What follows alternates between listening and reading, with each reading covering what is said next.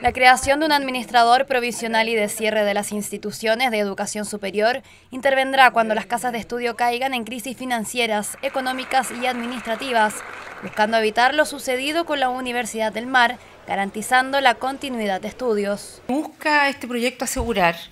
que si una institución, por diversos motivos, llegara a cerrar, sus estudiantes no quedarán desprotegidos ni en lo académico ni en lo financiero.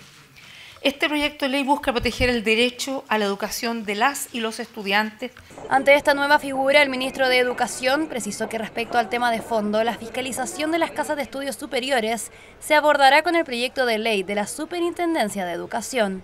Es una ley corta para dar solución a eh, estudiantes que eventualmente podrían quedar en la calle,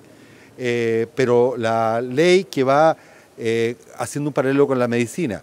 a hacer la medicina preventiva para que estas cosas no ocurran en el futuro es la ley de superintendencia de educación superior. Algunos parlamentarios valoraron esta iniciativa y comprometieron su apoyo en el Congreso para votar el proyecto. Esperemos que en el futuro próximo podamos tener otros proyectos más que desenmascaren lo que es el lucro de nuestro país en la educación superior, pero también garantice que el alumno o la alumna va a tener eh, permanentemente, siempre la garantía de dar término a sus estudios. Cuando entra en una situación de insolvencia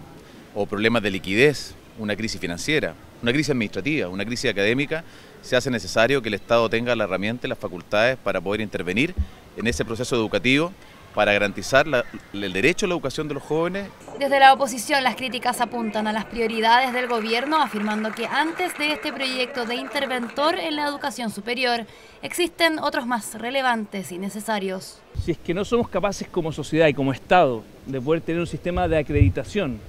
que le garantice a los estudiantes que están en buenas manos, me parece muy extraño que partamos por un proyecto que simplemente viene a intervenir sin reglas claras. Le vamos a exigir al ministro que ojalá este proyecto vaya de la mano con los proyectos que aseguren calidad. Mientras que autoridades académicas también mostraron su apoyo a esta figura de administrador provisional, afirmando que responde a una necesidad, pero que también hay que ser cautos al momento de intervenir.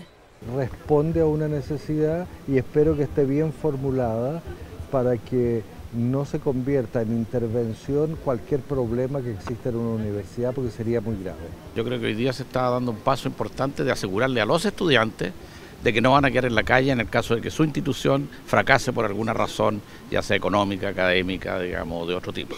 En materia de educación, se espera que próximamente se firmen los proyectos de ley sobre educación parvularia y el que pone fin al lucro y a la selección en colegios.